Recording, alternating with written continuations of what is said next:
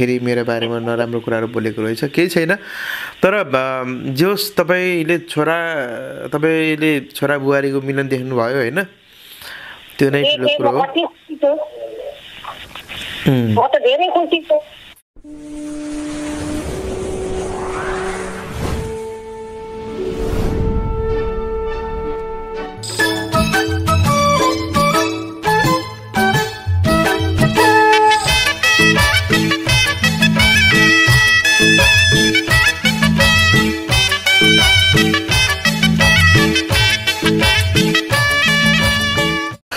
Okay दर्शक नमस्कार। म सन्तोष देउजा। अहिले यो छोटो भिडियो तपाईँको माझ मैले चाहिँ राख्न गइरहेको छु। र यो भिडियो निर्माण गर्नुको कारण चाहिँ अहिले म भर्खर मात्र बैतडीबाट म फर्किसकेको छु र बैतडीका धेरै रिपोर्टिङहरू त्यहाँको वास्तविकता तपाईँको माझमा चाहिँ मैले राख्नेछु। तर त्योभन्दा पहिला म बाटोमा आउँदा आउँदै मलाई विदेशबाट समाजसेवी आदरणीय दाजु आङकामी शेर्पाज्यूले एउटा भिडियो पठाउनु भयो। म गाडीमै थिएँ र भिडियो पठाउने क्रममा उहाँले मलाई चाहिँ त्यो भिडियोमा के थियो भन्दाखेरि एउटा इन्डियन मिडियाले एउटा इन्डियन मिडियाले चाहिँ मेरो चरित्र हत्या हुने गरी चाहिँ एउटा न्युज चाहिँ बनाएको रहेछ। राहुल र स्मिताको विषयमा त्यो न्युज बनाएको रहेछ ताकि त्यहाँ मैले के रकम लिएर मैले तपाईँको स्मिताको चरित्र हत्या गरेको भन्ने प्रकारको आशय त्यहाँ रहेछ। अहिले हामीलाई इन्डियन मिडियाले तपाईँको चाहिँ त्यसरी बदनाम गर्ने काम गरेको छ। हेरौँ। यसको वास्तविकता म यति बेला राहुलको आमा मसँग हुनुहुन्छ लाइभमा यहाँ जोडिनु भएको छ फोनमा। हजुर म्याडम नमस्कार। हजुर नमस्कार। अहिले स्मिता र राहुल चाहिँ हिजो विवाद अर्थ भयो त्यसपछि लिएर अहिले घरमै छन् होइन त? हजुर एकदम खुसीको साथमा छ उनीहरू दुईजना त. यति खुसी छ यति खुसी छ मेरो छोरा पनि यहीँ छ नातिनी सुतिराखेको छ तपाईँहरू खुसी हुनुभयो मलाई यहाँ दुःख दुःखी बनाइरहेछन् इन्डियन मिडियाले तपाईँको त्यो उता सम्धिले ल्याउनु भएको मिडिया सायद हुनसक्छ एकदम एकदम त्यो ठुलो गलत हो जो इन्डिया इन्डियाको मिडियाले मेरो सन्तोष भाइलाई आरोप लाग्दैछ त्यो एकदम गलत हो हेर्नुहोस् त अब तपाईँले त मलाई टन्नै पैसा दिएर स्मिताको चरित्र हत्या गराउन लाउनु हो भन्ने कुरो उहाँको त्यो मिडियाले बोलेको रहेछ। यो मेरो मेरो सन्तोष देउता भाइ त हाम्रो लागि त भगवान् हो। मेरो छोरा मेरो नातिनीलाई एउटा यत्रो परिवार मिलाउनु भनेको त यो त मेरो त भगवान् हो। मैले कहिले पनि उद्धार गरेर चाहिँ मेरो भाइलाई चाहिँ मैले गर्न सक्दिनँ। मेरो परिवार यति खुसी छ अहिले होइन? मेरो सन्तोष देउजा भाइले एक रुपियाँ पैसा भनेर मसँग मागेको पनि छैन लिएको पनि छैन। सिन्दुर तकको पैसा धरि मेरो सन्तोष देउजा भाइले अहिलेसम्म मैले लिएको नि छैन। सबै सम्पूर्ण उहाँ के अरे पालुङटार गोर्खा के अरे पालुङटार नौमा सबलाई थाहा छ। सन्तोष देउजा भाइले सिन्दुर लगाइदिएर छोरालाई भनेर सिन्दुर लगाएर माला पहिराएर खदा पहिराएर पनि हाम्रो एक रुपियाँ पैसा तक पनि हामीलाई परेको छैन। यति खुसी छ साउदीदेखि ड्याडीले पनि कति राम्रो ओहो मेरो परिवार जोडाइदिनु भयो धन्यवाद साउद के अरे म आएपछि भेटौँला भने ड्याडी र मेरो बात पनि हुँदै थियो। जुन ड्याडीले आज भन्नुभएको बुढी ओहो इन्डियाको मिडियाले चाहिँ यस्तो हालेको छ है बुढी भन्दाखेरि म झसङ्ग भएर चाहिँ मैले हेर्दाखेरि चाहिँ नभन्दै सन्तोष देउजा भाइलाई चाहिँ एकदम गलत रूपले भनेको रहेछ। त्यो एकदम गलत हो। त्यो सुन्नै हुँदैन। सन्तोष देउजा भाइले त्यस्तो गर्नै सक्दैन एउटा यस्तो भङ्ग भएको परिवारलाई एउटा आमा नपाएको बच्चालाई आमा पाए यस्तो राम्रो संसार त कसैले पनि गर्न सक्दैन नि। हामीले त्यस्तो भन्ने मिल्छ। अब हालतमा तपाईँले तपाईँ तपाईँमाथि पनि त्यो मिडियासित पनि म खडा भएर मेरो सन्तोष देउता भाइलाई अगाडि राखेर पनि म इन्टरभ्यू दिन सक्छु। म पछि हट्दिनँ।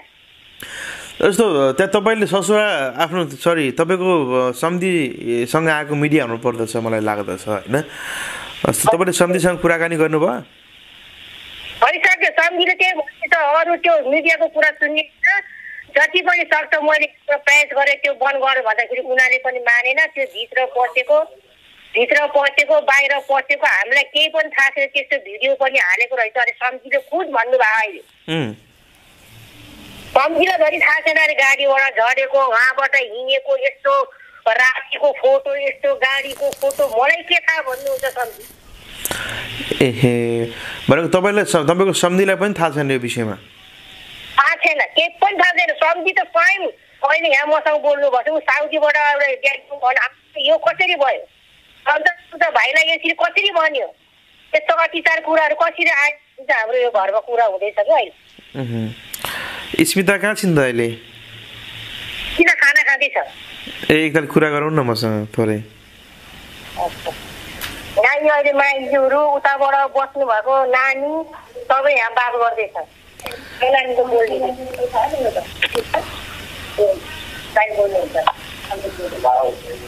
हेलो। स्मिता? हजुर। तिमीलाई सन्चै छ नि होइन?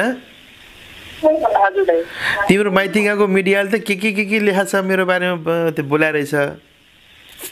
माइतीको मिडियालाई अब हामी हाम- हाम्रो माइती मेरो कसैलाई केही पनि थाहा छैन है यस्तो भएको छ? भनेर मैले पनि कल गरिरहेको उम्, अब ड्याडीहरूलाई त थाहै छैन मलाई त थाहा छैन मैले फोन गरेर त बिहानै कल गरेको थिएँ नि त मैले भनेको थिएँ ड्याडीलाई यस्तो यस्तो भएको छ अरे फोन गरेर भनिदिनु भनेको थिएँ होइन। अन्त ड्याडीले कल गरेर अनि बिहानै नगर्नु त्यस्तोहरू चाहिँ केही पनि पोस्ट गर्नु पर्दैन भनेर त भनेको रहेछ तर पनि पोस्ट गरिदिएछ। अब त्यो त मलाई थाहा भएन ड्याडीलाई पनि थाहा रहेन रहेछ कल गरेर सोधेको हो हामीले। खै हामीले त त्यस्तो केही पनि भनेको छैन। भिडियोहरू पोस्ट गर्नु पनि केही त्यस्तो केही भनेको छैन भनेर भन्दै थियो अनि फेरि एकचोटि कल गरेर भनिदिनु त्यो भिडियोहरू सबै डिलिट गरिदिनु भनेर चाहिँ भनेको छु। ओके। कल गर्छु चाहिँ भन्नुहुँदैछ। अब सन्तोष दाईको चरित्र हत्या त हुन्छ नि फेरि यसरी है नानी? पनि हुँदैन। अब त्यो तपाईँहरूको अब हाम्रो फ्यामिलीबाट त त्यस्तो केही पनि छैन होइन? अब उनीहरूले तिमी खुसी छौ नि होइन। बहिनी तिमी खुसी छौ नि होइन? हजुर हजुर एकदम। तिमी तिमी खुसी हुनु तर सन्तोष दाईलाई दुखी नबनाउनु ल नानी। अरे होइन दाइ हामीले त्यस्तो केही पनि गरेको छैन। हामी- हाम- हाम्रो तर्फबाट चाहिँ त्यस्तो केही पनि छैन। अब मिडिया टु मिडियाको के हो त्यो चाहिँ मलाई थाहा भएन है दाइ हामीले त केही पनि गरेको छैन। ओके। हामीले पनि केही गरेको छैन एक्सेप्ट गरिरहेको छ। ओके तिमी खुसी भएर बस्नु राहुलसँग खुसी हुनु तिमी कहिले इन्डिया जान्छौ नानी ए विवाह दर्ता त तिम्रो हातमा आइसक्यो नि होइन ओके गड ब्लेस यु राम्रोसँग जानु है त नानी ल मम्मीलाई देऊ म्याडम अब यस्तै हो म्याडम अब कहीँ कहीँ दुख्दो रहेछ कि? मन दुख्दो रहेछ होइन? कता कता पीडा हुँदो रहेछ म्याडम? होइन?